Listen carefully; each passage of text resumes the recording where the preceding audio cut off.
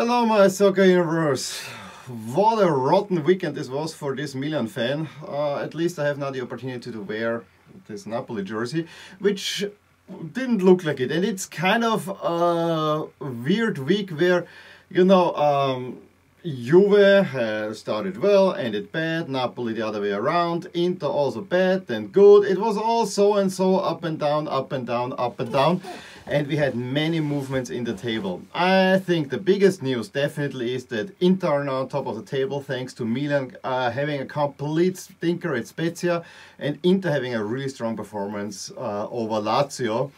Uh, the biggest game nominally probably was Napoli against Juve, uh, which gave Napoli a win. Although I have to say, under normal circumstances, Juve would have gotten out a draw. Other than that, the Roman teams, Roma again, not playing a top six side, getting a very impressive win, whereas Lazio, yeah, we saw they uh, lost already to Inter. We also had a cup round where we have a final that is pretty much the exact expected final. Um, that we had from the first uh, um, leg that Juve will face Atalanta and Juve putting uh, in another Juve-like performance. So I would say let's start with the Coppa Italia. Juve Inter, it was a game that I really, really, really wanted to see. I was looking forward to it. I thought it will be a fun game. Um, yeah, if you like defending, then you really like that game. Juve I don't want to say they didn't want to attack, but they definitely knew that they had the lead. It is comfortable. We just need to sit back. And once Inter didn't get a, a justifiably not did not get a penalty in the first half, I think the writing was already in the wall that this will not be Inter stay. Inter then got a little bit too um, bent out of shape. I know there was the, at the halftime. Uh, Conte and Agnelli getting at each other's throats and all that kind of stuff it got really, really nasty. And again, I think over both ties, Inter probably should have gotten a draw out of the first one. And it's not inconceivable that they should have gotten at least, um, they could have gotten more out, out of this one. Well, Inter definitely was not the worst team. However, Juve took care of all of Inter's mistakes and then uh, in a fashion that Juve actually doesn't want to be anymore. You know, this is the old style. Juve just hanging deep, defending, defending, shut up shop, and we go through. That's the feeling uh, that I had, and it worked well for them, and they frustrated uh, Inter out of it. The question, of course, is will be this be the Juve going forward? But so with that, Juve over Inter in the cup final, and Atalanta had really not much trouble with Napoli, and this was kind of this um, big week for Gattuso, where um, you know uh, semi-final, then playing against against Juve, he needed some results. He didn't get it there. Uh, you know, Atalanta looked a little bit, then turned turned on 10th and 16th. Uh, Zapata and Pessina made it made it 2 0. Could have been more.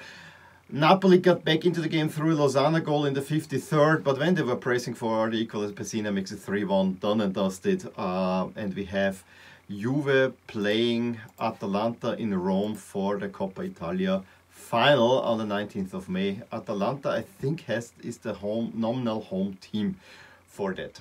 Um, as for the weekend, yeah, I mean the first few games I didn't see much of it. I had all my eyes on Napoli Juve, and I have to say it was well. I thought it was an open game at first with uh, where Napoli fought themselves into the game, and then they got a penalty that. Hmm, I can see why Chiellini does, doesn't like it, but he really goes with his hand fully into, into the face.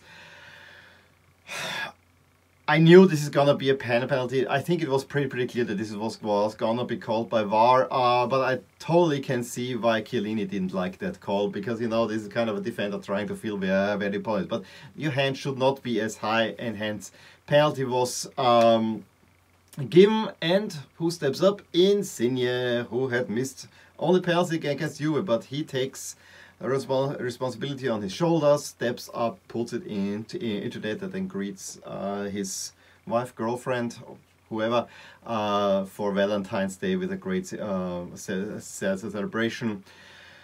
Then in the second half, I think at the beginning was still a little bit more leaning Napoli, who now could hold back and uh, kind of hit Ju- Juve on the counter. But then, uh, as far as the game went on, it was more Napoli hang, hanging on and you were having really some great chances. I think once Ronaldo heads directly at the keeper, Morata a similar chance. So I think it probably a 1-1 would have been deserved, but it was a huge win for Napoli. And I know no one to talk about. This is Gattuso against Pirlo. This is my Milan midfield, my favorite favorite one. Yes, one is still hailed with Milan, the other one not so much. Although I still, for me, Pirlo is still more a, a Milan player than a Juve, uh, Juve player. But I understand where his personal journey went. So yeah, big win, big win for Juve. And at that, ah, for Napoli. And at that moment, I was thinking, wow, if Milan now can get the three points at Spezia, you can distance yourself from Juve. And in addition, you put quite some pressure on Inter, and Inter was not a foregone conclusion the way Lazio was playing.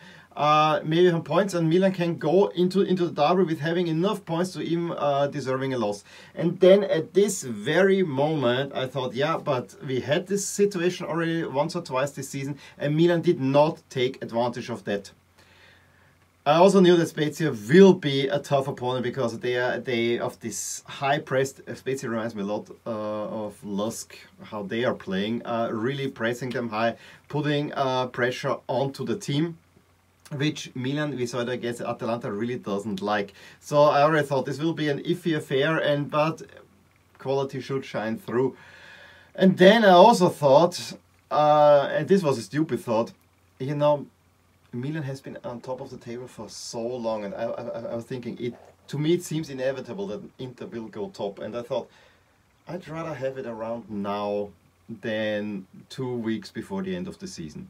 And I kind of jinxed Milan maybe in a little bit, but I have to say uh, Milan did not show up at all. Spezia deservedly, Milan didn't have a shot on goal. This was a stink of a performance uh, that I, I cannot tell you how disappointing this performance was. Spezia running out, fully deserved as 2-0 winners. Maggiore uh, in the second half uh, gets the goal win. I mean, this has been coming, and then Bastoni, no relationships to the Inter defender. Uh, after after Frigger slammed the net, Donnarumma has no chance. I also think there was a lot of talk around Milan, you know, Donnarumma not extending his contract for now, the negotiation. And this is an important negotiation, but, you know, with Mino Raiola, it's never that easy. Then Zlatan with the Sanremo Festival, it was... And then, of course, the derby. I think the as much as Pioli said that they were focused on, on the game, I think there were so many side issues that I don't know. This would have been important to pick up those three points. Maybe this was to kick up the backside. Milan has a really tough program ahead with uh, Red Star away from home, Inter in the derby at home, then Red Star at home, and then Roma away. Those four games in the next two weeks will uh, go a long way of showing me where Milan's season will be. Um, if they lose here, I think it will be hard to hang on for the Champions League spot. I has to be said especially with Roma. And, you know, I know Milan at the moment is a top uh, two team, but of the when I look at them, the way they are playing, um, it has been the whole season. I mean, I'm enjoying that that, that they're winning, and it's some when it's gelling, it's beautiful. But I always feel that the the wheels are always close to coming off, and maybe Roma could actually uh, exploit that. Roma what can I say? Very quickly, they had their lead uh, in very two two goals, one by a penalty, fifth and 25th, and um, goal disallowed in the third, the third. But Udine came out, tried to uh, come, come, come back, um, but Roma at the end uh, put it away with 3 0. Was an easy win. Roma, if they don't have to play a big top six, top seven team, Roma is one of the most entertaining sides out there. Atalanta get a late win thanks to a goal by Muriel in the 90th minute, who came on uh, only in the 668. It was not a great game. And then very late, uh, Cagliari would have gotten a penalty. And then when you look at the replay, uh, yeah, minuscule thing and the penalties take take off because see the ball was played first. So yeah, Atalanta gets a win. Cagliari really in trouble. And as I said, those two teams that I, those two jerseys that I enjoy so much they will not feature most likely next year's Serie A video. Sampdoria with a win over uh, Fiore Fiorentina, um, the winner by Quagliarella in the 71st. Uh, Sassuolo 2-1 over Crotone, getting maybe a little bit back on track. And then Inter with a rather impressive performance over Lazio. I mean, it has to be said, the first half was very even, maybe at the beginning definitely advantage Lazio.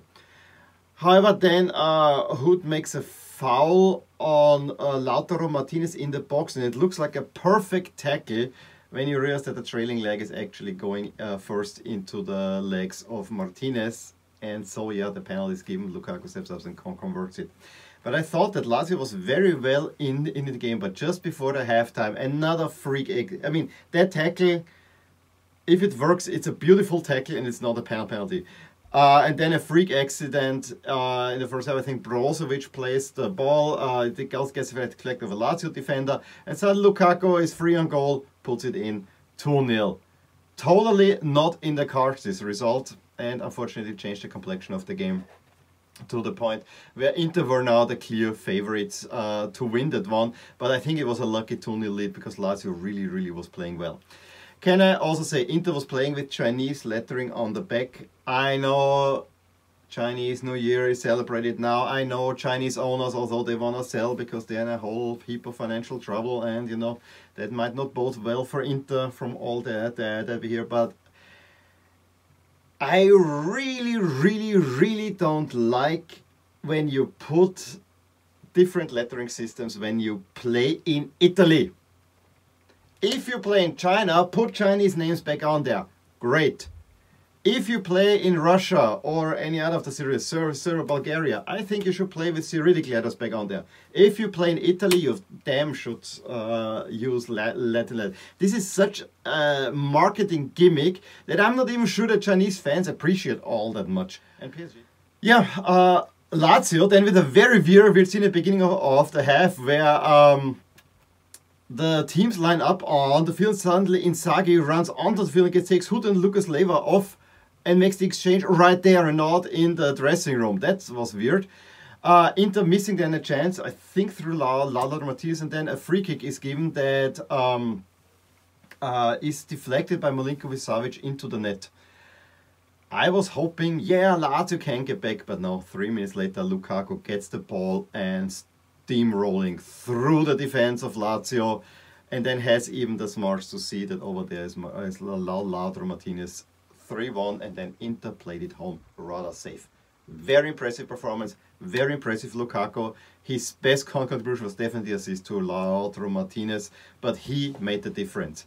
And now we can look forward to a great derby. More on that in a little bit. If we look now at the standings, Inter going top. Eh.